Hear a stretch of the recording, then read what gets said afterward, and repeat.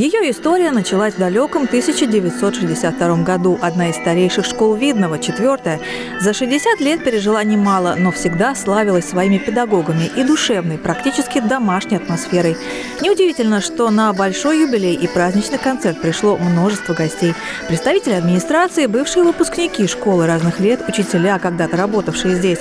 Ну и какой же день рождения без подарков? С высокой честью и достойно отвечать на все вызовы современности мы вот хотим подарить вам сертификат э, на укрепление материально-технической базы на 100 тысяч рублей. За 60 лет у школы сменилось множество руководителей, но Галина Васильевна Исаева стояла у руля целых 30 лет. Именно она смогла собрать тот самый коллектив, которым по праву гордится учреждение. Учителя самые золотые, самые ответственные, самые серьезные и самые человечные.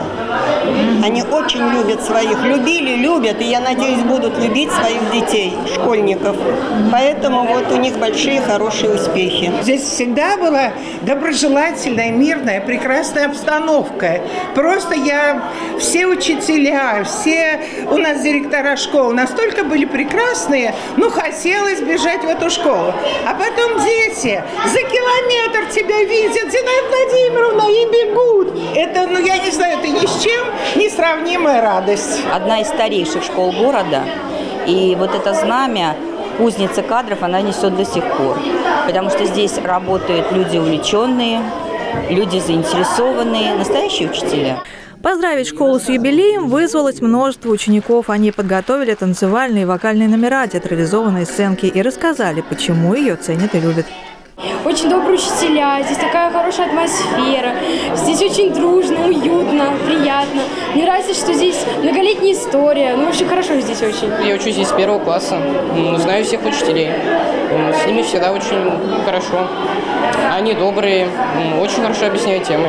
Уже год школа номер 4 входит в состав Видновского художественно-технического лицея и не только сохраняет свои добрые традиции, но и приумножает их. Но я надеюсь, что вместе я знаю, что вместе мы сила. И а, помня корни, помня истоки, и имея то, что мы сейчас имеем, наш дружный, сплоченный педагогический коллектив, впереди нас будет ждать только успех. С праздником, коллеги!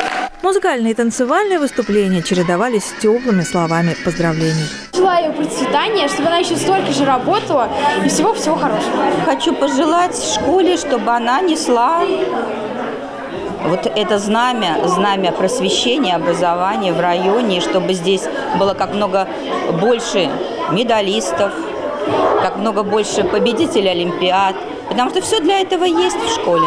Екатерина Борисова, Александр Логинов, Елена Кошлева. Видно ТВ.